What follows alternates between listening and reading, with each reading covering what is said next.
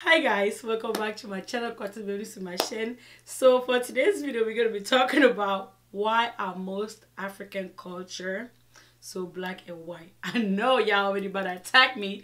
I know okay? So I was with my girl on the phone you know we're FaceTiming and we're talking. She was helping me brainstorm and she mentioned that she was like you know I was like I'm looking for another idea of a video I can make and she mentioned this. I was like oh yes that is a good one okay? But I know my African people will be attacking me, especially our parents. If they watch this video, they definitely attack me. So, but it's okay, guys. I'll take it. I'll take. I'll take the blame. I'll take it. I'll take it. I'll take it. I'll take it. I'll take it. So yeah, you guys. If you're new to the channel, don't forget to subscribe down below. It is free. Make sure you turn the notification bell on so you can get notified every single time I upload a new video. If you're a returning subscriber, you already know. It is all love. Thank you so much for your love and support. I truly, truly appreciate you. And yeah, you guys, let's get started. So the very first thing I want to talk about is education when it comes to sexual health, right? So why do most of our parents feel like it's taboo to talk to their children about sexual health? You know, why? Like, I really don't understand. Especially when we reach a certain age, I think our parents should feel comfortable enough to sit us down and to talk about sexual health, you know? talk about you know what it is to you know have sex protection all those things. But it is so taboo in most african culture if not all. Like why? You know what i'm saying? Those type of things make us have to go outside and learn about it mainly make mistakes because we are not educated when it comes to that. You know what i'm saying you know a lot of of course, even when you educate your kid, they can still come back home with pregnancies and stuff like that, or STDs, STIs, because they choose to not listen. But it's one thing to, you know, get in trouble for not listening than getting in trouble for not even knowing. You know what I'm saying? Like now you're in trouble because you're pregnant or you came home with some type of sickness because you weren't educated about it. You know? That's a different level of, you know, of mistake right there, if I shall call that, you know? the punishment you should receive for not listening is a different punishment you should receive for not knowing, not being educated, not knowing better. You know what I'm saying? So yeah, you guys, that's the very first thing. Like we end up having to go to school and learn about it in health class. And even in health class, they're not really in depth. Like, you know, like what you really see outside or hear outside or go through outside, you know, when it comes to that type of thing. I really advise you, if you're a parent, to talk about it with your children. It is not taboo. It is normal. It is something your child will go out in the world and learn about it. And you don't want them to learn about it and make a mistake and come back with a pregnancy or an STI or an STD that cannot even be cured. You know what I'm saying? Something that can affect their whole life forever. So I really advise you to talk about it with your children. I don't think sexual health should be a topic that is taboo. I think it's something that, you know, we should really talk about, you know? And the next topic I want to talk about is their way or the highway. You know, it's either their way or no way, you know? I really think it is also very important to learn how to communicate with your kid especially if the kid can understand you and can comprehend what you're saying or what you're trying to tell them. I think it is very important to communicate how you feel and hear where your kid is coming from as well you know? Because sometimes kids can do things you don't know why they reacted the way they did but then again it's because of something bothering them but they, they're not just comfortable enough to speak about it to talk about it to say how they feel because you are not giving them that that door that window to communicate with you to tell you how they feel you know? For example you guys know as my background I'm a social worker, you know, that's what I studied. And most of the time when I had African parents, clients, for some reason they love bringing my Africans to me and I did not mind at all. I did not mind at all. So when I had African parents coming to me complaining about the children or the child, the first thing I would normally do is ask the child where they were coming from with whatever thought, depending on what the situation is. I want them to let me know what the thought process was. Like, for example, some children are being bullied at school, and when they get home, they bully their siblings. And the parent just think, oh, that's a bad child, that's the black sheep of the family. Whole time, that kid is really not the black sheep.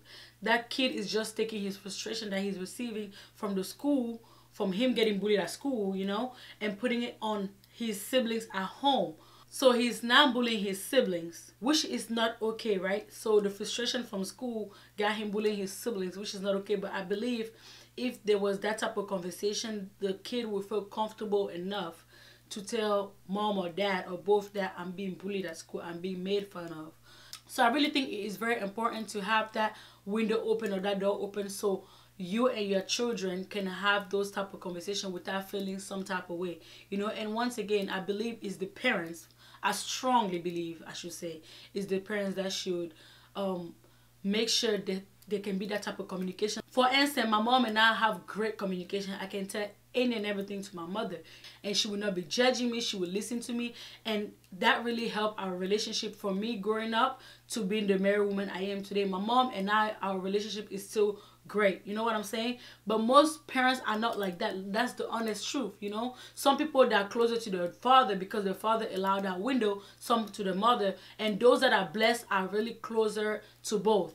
They can communicate to both without feeling down without feeling misunderstood you know? It's really really important to be able to just express yourself especially around your parents because those are the people that really are out here to protect you you know? If you can have that type of conversation with your parents what what what are you guys gonna be talking about? What what exactly? Mm, I don't know. So yeah, you guys, if you're a parent, please make sure when your kid is able to understand and comprehend, you have that type of conversation. Let not like don't just make it about your way or the highway. You know, the kid does something bad, trying to understand where the kid came from. Sometimes they do something bad because they want to be bad. I know, but sometimes they also have something bothering them, and that's the way of of you know taking it out of the heart of the body externalizing it by doing something bad. You know i'm not saying it is okay but i'm saying from perspective of a social worker i think most of the issues parents and children have were not going to be taking place especially in the african community were not going to be taking place if they had that communication going you know if they had that going. And the last thing i want to mention is learning how to apologize to your children or to people that are younger than you because you know we are so used to because you're older or you're an elder or you're grown you cannot apologize you're never wrong. That mentality needs to be put aside thrown away burnt that like gone from the world because there's no way you're a human being and you're always right. That just doesn't make any sense it really doesn't. Like you cannot be a human being and you are always a thousand percent right. I just it's impossible. Like I just can't I can't stand people like that. You know, and that's one thing most of our elder you know, that's how they like to call themselves our elder, right? I go like this because they can just be like your brother or your sister that's just ordered you, and then they, they say, I'm your elder. Yes, you are, but at the end of the day, you are not my God. You know what I'm saying? Like, I'm your oh, elder, okay, but you're not my God. I, that's why I go like this because sometimes they like to act like they are godly, they don't, they never do anything wrong. Okay, you're my elder, I understand, but then you can also be wrong as my elder. And it is okay to apologize to your children. It is okay to apologize to people that are younger than you, okay? Not because you're our elder you are wiser, means that you can never be wrong. Okay? So let's please stop the black and white vision, the black and white behavior, like your way or the highway, your way or no way. Like it is okay to say, oh my gosh, you are right. I didn't see it that way. I apologize. I'm sorry. Trust me, you saying you're sorry in general will not remove a piece of hair off your head. I promise you it wouldn't. It will not make you lose weight if you don't want to lose weight. It will not make you gain weight if you don't want to gain weight. It will not do anything to you.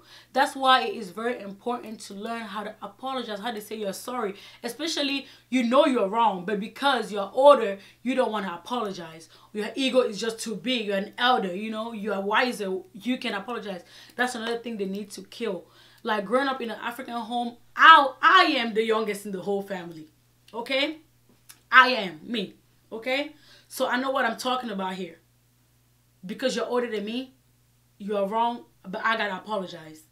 Because you're older than me, you can never accept your mistake. Like, I know that type of behavior. You know what I'm saying? And that is not okay. I think we need to kill that once again, throw in the trash, burn it, do something else with it than having it in this world, okay? So I believe if the African community or culture works on the things I mentioned on this video, everything should start getting better, especially when it comes to parent and children relationship or elders and kids relationship you know what i'm saying there's gonna be a bit less of hiding stuff because living here i've been here since i'm 12 years old living here in america i i really see my american friends or you know Caucasian friends being so close to their parents, being able to tell anything to both their parents, and I'm like, you are truly blessed. Alright you guys, that's the end of today's video. Don't forget to give it a thumbs up if you enjoyed it. Don't forget to comment down below any other type of video you'd like me to film next. Let me know also if you would like to see a video about growing up in the African household. I'll definitely film that video for you guys as well if you guys are interested. Do not forget to follow me on my social media platforms. The description box will have all the links to my Instagram, Twitter, Snapchat, and TikTok. And if you're not subscribed, make sure you hit the subscribe button down below. That helps me a lot. Make sure the notification bell is turned on so you can get notified every single time I upload a new video. And it also helps me knowing that you guys are enjoying my content when you guys are subscribing. And for the new subscribers, welcome to the family. For the returning subscriber, you already know it is all love. Thank you so much for your love and support. I truly appreciate you. And I'll catch you guys on my next one. Bye, guys.